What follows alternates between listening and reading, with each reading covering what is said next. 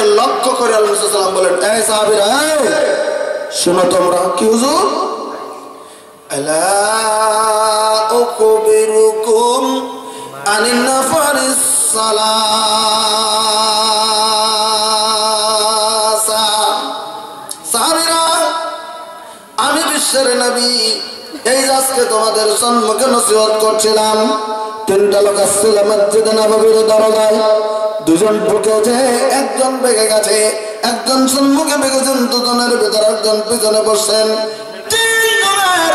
ইসলামের ভিতরে কার কিস্তান আছে তোমাদেরকে কামিনাবি জানিয়ে দেবো কেনা? সাহাবাকের অন্তরে সব সময় শোনার জন্যেই। এবার আল্লাহ রাবুল আলমিনের নাবি তখন বলে দিলেন, বলেন না সাহাবিরা তোমরা শুনে নাও বলে কি?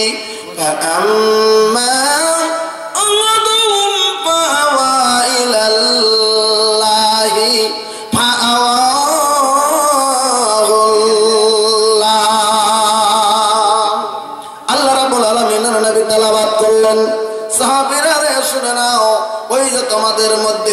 ওই যিনি আমি বিশ্ব নবী, আমার নিকটে এসে আল্লাহ রাবুল আলামিন নৈকট্য লাভের উদ্দেশ্যে আল্লাহ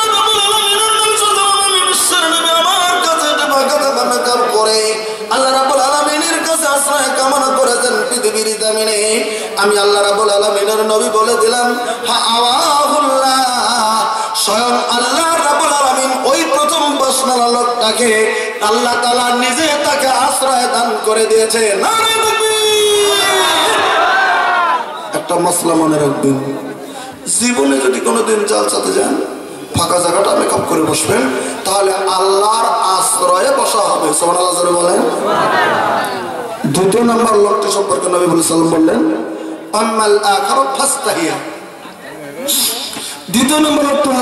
করে, পিছনে বসছিল লজ্জাবোধ করেছিল। হ্যাঁ সামনে যাব না। তার মানে কিছু কিছু লোক আছে, আপনাদের এই যাত্রার কথা কিন্তু বলিনি, খুব কথাটা খেয়াল করবেন। আমি আসামের কথা কছি কথাটা খুব ভালো রাখবেন। কিছু কিছু লোক আছে, আসামে তো মোটামুটি ধরেন, আসামে আসামে দলবন্দি লোক অনেক বেশি তাবলিকি জামাতের লোক অনেক বেশি, মোটামুটি ধরেন যে পঁচানব্বই পার্সেন্ট আর হয়তো তিন পার্সেন্ট হয়তো ই লোক আছে বের লোক আছে, দু পার্সেন্ট আমরা আল্লাহ লোক আছে, আসামে খুবই আল্লাহ পার্সেন্টেজ কম। মুসলিম বেশি আছে আসামে, কিন্তু আল্লাহ পার্সেন্টেজ খুবই কম আমরা আছি। তো যাক কিছু কিছু লোক আছেন যে সম্মুখে বসবে না, তার কারণটা একটা। এখনও আমি অনেক জালসাতে দেখেছি। আমরা যখন জালসাতে যাচ্ছি, তো দেখছি যে পান এনে দিচ্ছে, এটা কিন্তু আসামের স্টাইল।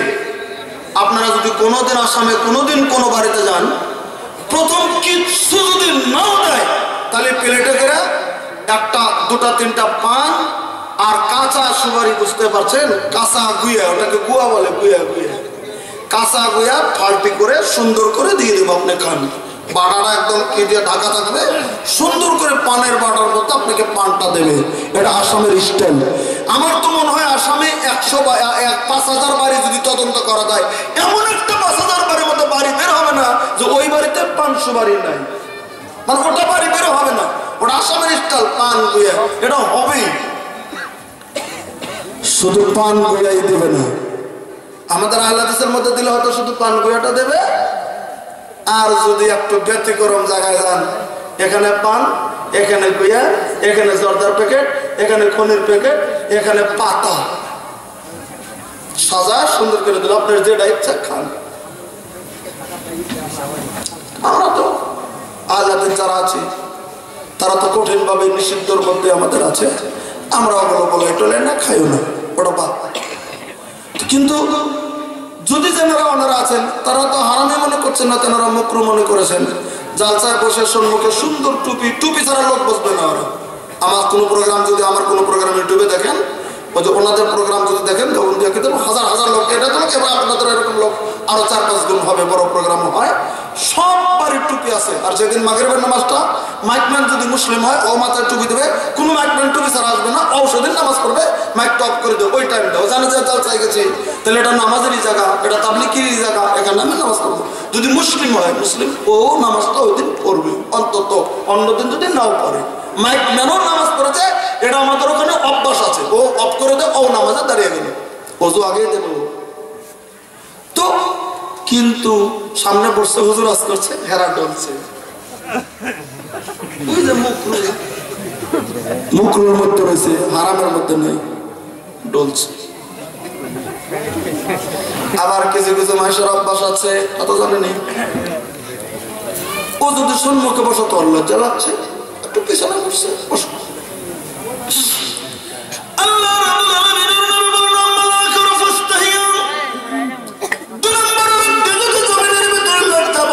পিছনে বসেছেন, আল্লাহু আলামিন বললেন বলে কি?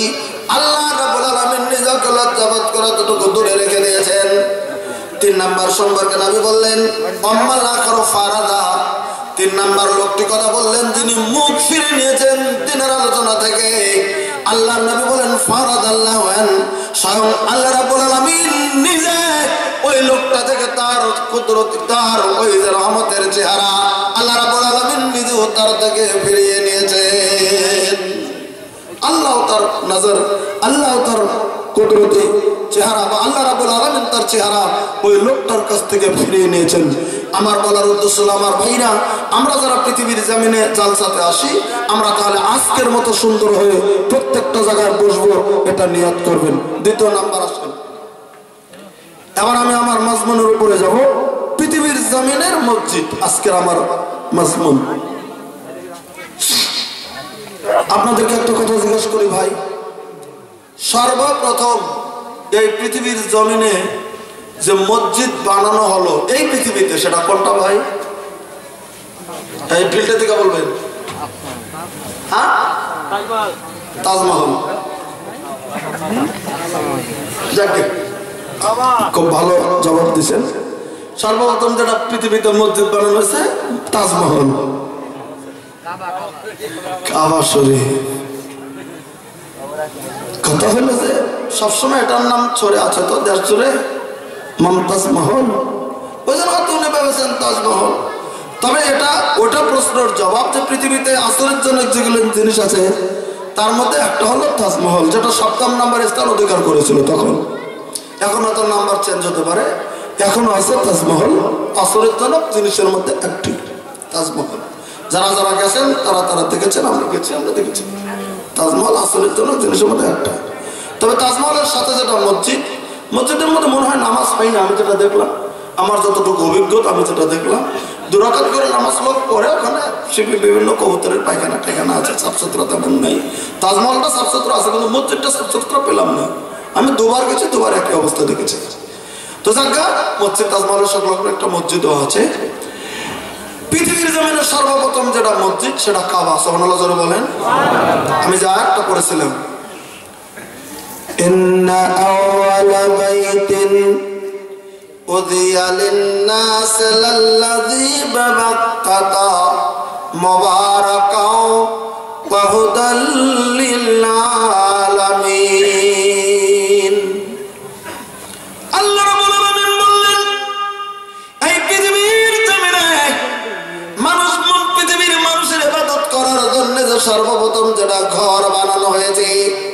ওই ঘরটা পৃথিবীর অন্য জায়গায় বানানো হয় নাই। ওই ঘরটা আমি আল্লাহ রাব্বুল আলামিন বলে দিলাম, ওই ঘরটা বাক্কার মধ্যে বানানো হয়েছে। মাক্কার একটা নাম হচ্ছে বাক্কা। আল্লাহ রাব্বুল আলামিন কোরআনে কারণে বাক্কা নাম উল্লেখ করে বললেন, বে বাক্কাতা। আমি আল্লাহ রাব্বুল আলামিন সেটা বাক্কার ভিতরে, মক্কার ভিতরে স্থাপিত করে দিয়েছি। আমি আল্লাহ রাব্বুল আলামিন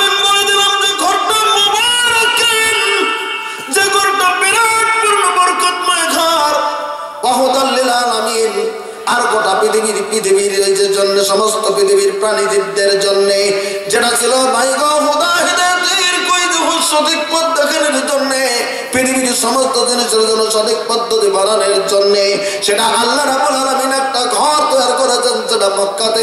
সেটাই হচ্ছে পৃথিবীর জমিনের মধ্যে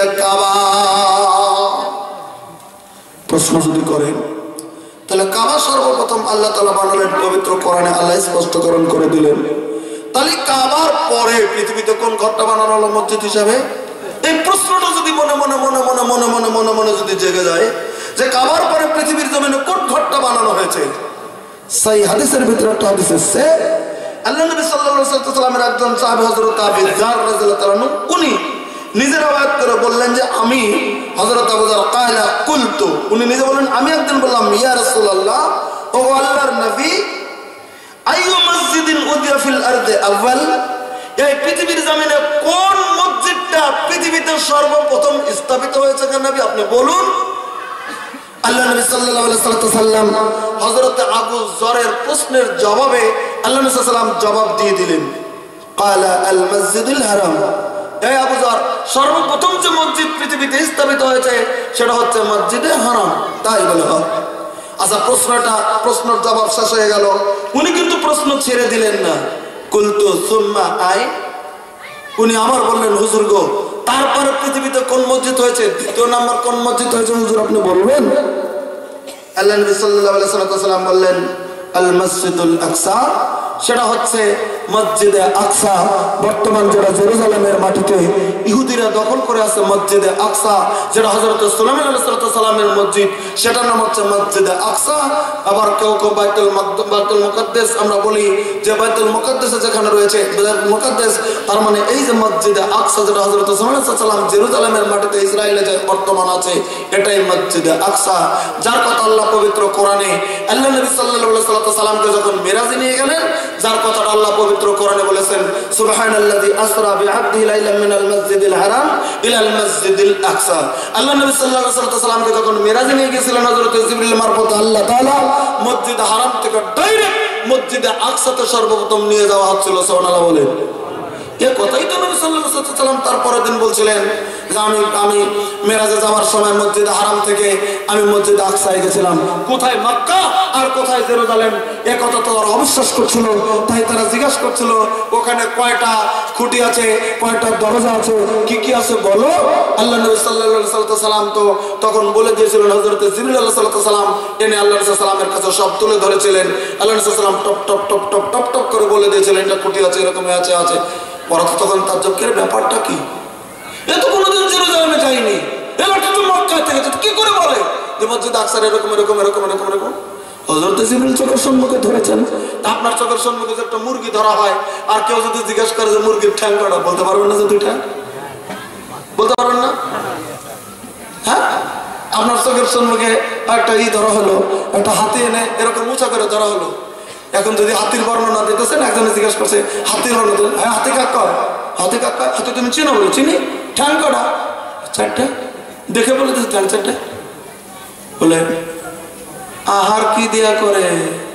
যারা যারা দেখছিল, এ তো ছোট, জানে না। আর কি দিয়া করে? লাম্বা এরকম সুর আছে বুড়ে দিয়া টাইনে নেই এরকম করে খায় তখন যারা জানে, তারা কবে না, ঠিক তো বলছে, বাচ্চা হলে কত হলো ঠিক বলছে? কিন্তু আমরা তো দেখেছি এরকম শুনেছি কোনোদিন যায়নি কি করে বলল? এই এটা সত্য জিনিস।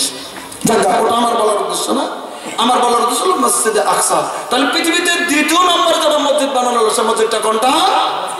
মসজিদে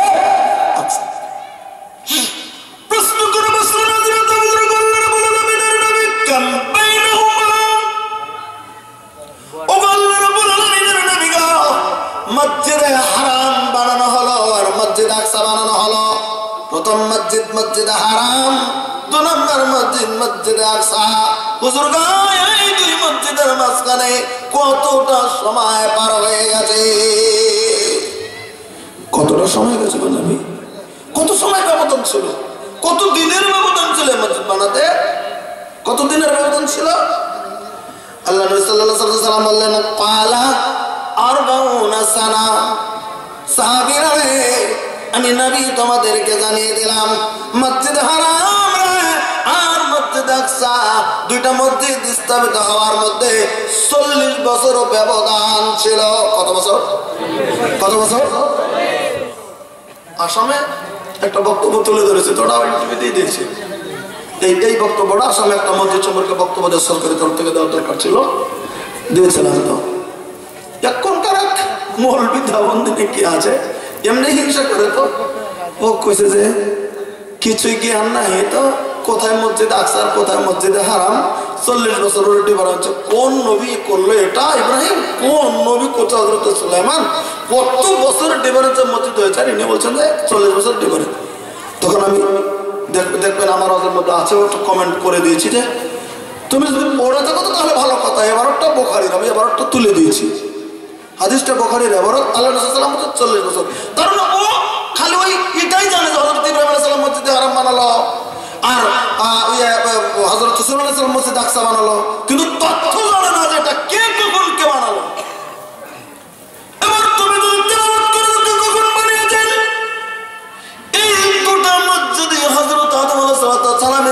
স্থাপিত হয়েছে বলবেন কেমন করে?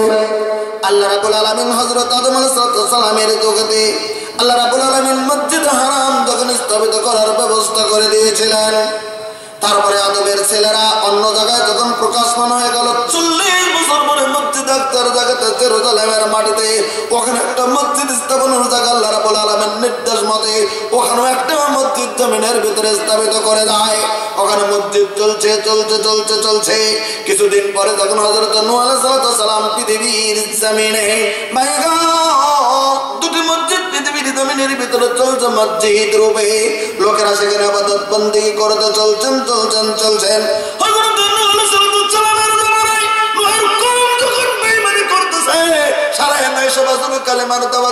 বছর নূহ আলাইহিস সালাম। কত বছর বললাম? কত বছর বললাম? সাড়ে নয়শো বছর কালিমার দাওয়াত দিয়েছেন হযরত নূহ আলাইহিস সালাম। সাড়ে নয়শো বছর কালিমার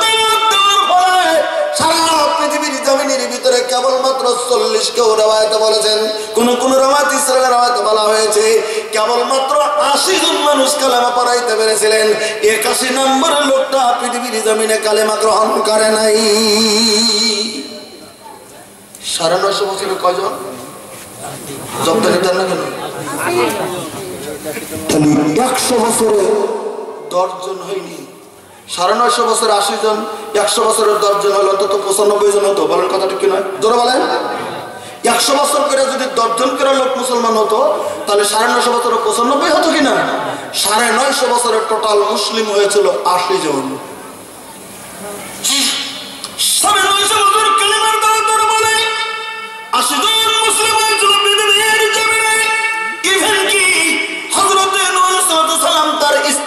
জমিনের ভিতরে কালিমা পড়াইতে পারে নাই। আল্লাহ রাব্বুল আলামিন পবিত্র কোরআনে নূহের স্ত্রীকে জাহান্নামী বলে ঘোষণা করেছেন। তাই না নূহ আলাইহিস সালামের স্ত্রী। দুজন নবীর স্ত্রী জাহান্নামী ঘোষণা করেছেন। একটা হযরত নূহ আলাইহিস স্ত্রী আরেকজন ছিল হযরত লূত আলাইহিস সালামের স্ত্রী। এই দুজনের স্ত্রীকে আল্লাহ তাআলা কোরআনে জাহান্নামী ঘোষণা করেছেন। আর একজন আল্লাহর সবথেকে বড় দুশমন পৃথিবীর জমিনে। সারা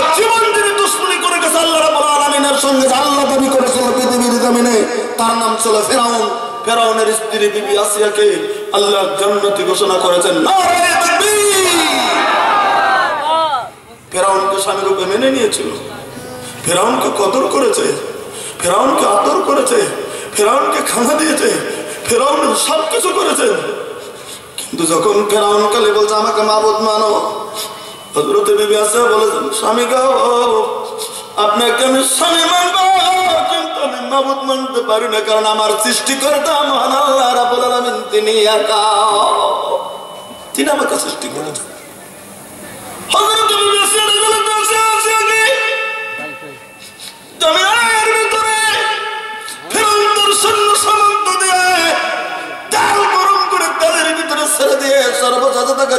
ভিতরে থেকে থেকে মেরে দেওয়া হয়েছিল, শহীদ করে দেওয়া হয়েছে।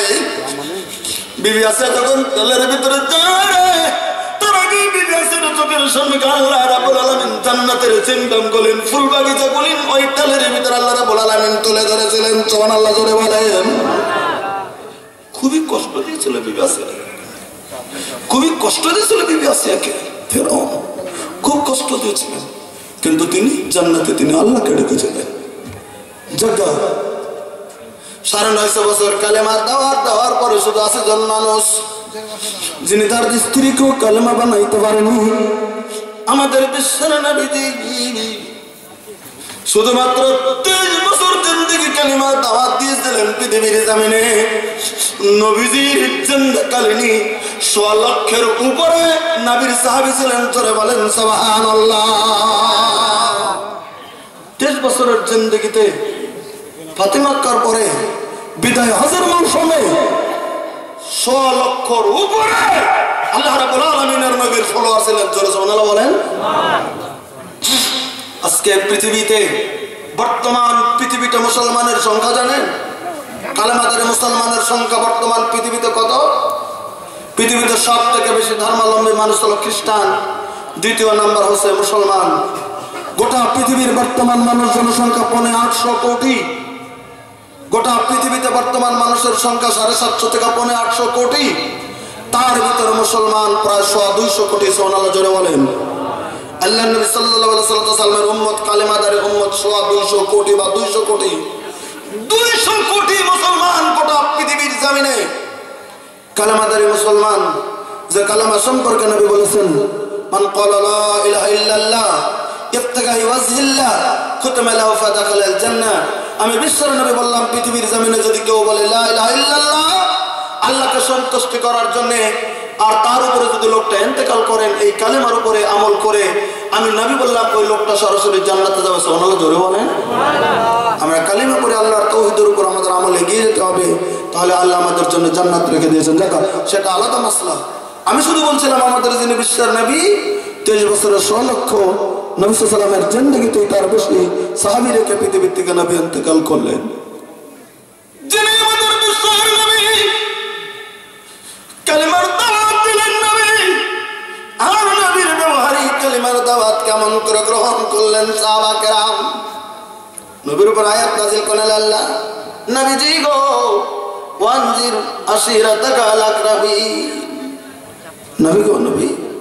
আপনার নিকটাত্মক কাছে আপনি কালেমার দাওয়াত দিয়ে দেন। আপনি ভয় দেখেন আল্লাহ, আপনি কালেমার দাওয়াত দেন নিকটদের কাছে দিয়ে দেন। একটা তফসিরে লেখেন, আল্লাহ নবী সাল্লাহ সাল্লাম চিন্তা শুরু করে দিলেন।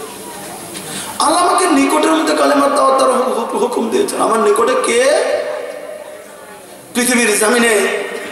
এই পৃথিবীর জামিনে সব থেকে যদি বেশি নিকটের মানুষ থাকে সেটাকে একটা লোকের যদি সব থেকে বেশি নিকটের পৃথিবীতে মানুষ থাকে সেটাকে দরদিনী কলিজার টুকরা মা, আপনারা যদি স্বীকার করেন, তাও যদি স্বীকার না করেন, তাও। মার মতো নিকটের গোটা পৃথিবীতে কেউ হতে পারে না বলেন কথা ঠিক নয়? স্ত্রীকে যদি খুব নিকটের ভাবেন মা জ্বালায়, স্ত্রী আদর করে, স্ত্রী খাওয়ায়, স্ত্রী স্ত্রী ওদের যদি মনে করেন, মা গাল পরে মা জ্বালায়, মা খালি মেয়ে মেয়ে করে, আমার স্ত্রী আমাকে স্বামী স্বামী করে, আর মা খালি আমার বোন নিয়ে পাগল, এরকম করে মেলা মানুষের ধারণা। মা খালি কিছু মা আছে ওরকম, খালি বেটি বেটি বেটি বেটি বেটি বেটি। বলার মন থেকে এরকম করে উড়ে যায়। মায়ের উচিত, আমার ছেলে আছে, মেয়ে আছে, সবাইকে আমাকে লক্ষ্য করা প্রয়োজন। তুমি তো পেটি দেখবেই মার সাধারণত পেটের দিকে টান বেশি থাকে। আশা থাকবে, মেয়ের মেয়ের টান থাকবে, সেটা আলাদা বাবার মেয়ে জাতি, মেয়ে জাতির টান থাকবে, সেটা আলাদা তাই বলে ছেলেকে অন্তর্তি করে নয়। কিন্তু ছেলেরা যেন ভাবেন না, তাই বলে, মা, আপনার নিকট নয়, মা, আপনার দূরে। আমি আপনাকে একটা প্রমাণ দিচ্ছি। কোন ছেলে মার উপরে রেগে গেল, মাকে ধমকি দিয়েছে, মাকে মারতে গেছে, মাকে ধমকি দিয়েছে, মাকে ফেলে দিয়েছে, মাকে ধাক্কা মেরেছে। বলেন তো, সঙ্গে সঙ্গে কয়টা মা আছে? কোর্টে যায়, ছেলেকে কোর্টে ক্যাশ করে ছেলেকে জেল খাটায় আর কিলকিল করে হাসে। এবার ঠিক হয়েছে, ভালো করেছি, জেল খাট, আক্কেল পপ এরকম কয়টা মা আছে? এক হাজারের মধ্যে, এক হাজার ছেলে যদি মাকে ধমকি দেয়, কয়টা মা আছে যে এরকম করবে যে ছেলেকে নিয়ে জেলখানা দেবে? বলেন, কয়টা মা করবে?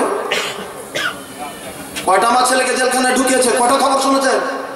শুনেছেন এরকম খবর যে মা ছেলেকে জেলখানায় ঢুকিয়ে দিয়ে একদম খুব খুশি থাকে কিলকিল কিলকিল করে আসতেছে এরকম দেখেছেন কোথাও কোনো টিভিতে না।